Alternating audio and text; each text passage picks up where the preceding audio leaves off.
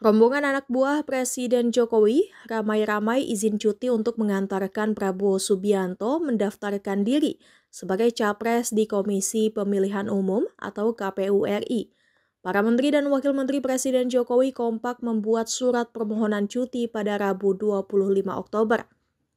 Dikutip dari Kompas.com, Koordinator Staf Khusus Presiden Ali Dwi Payana mengatakan, mereka yang mengajukan cuti adalah Menko Perekonomian Erlangga Hartarto, Menteri Perdagangan Zulkifli Hasan, dan Wakil Menteri ATR BPN Raja Juli Antoni. Izin cuti yang diajukan para anak buah Presiden Jokowi itu hanya satu hari, yakni 25 Oktober 2023. Adapun alasan cuti ialah karena hendak mengantarkan Prabowo Subianto dan Gibran Raka Buming mendaftarkan diri untuk Pilpres 2024. Ali menuturkan Presiden Jokowi sudah menyetujui permohonan izin ketiga anggota kabinetnya itu.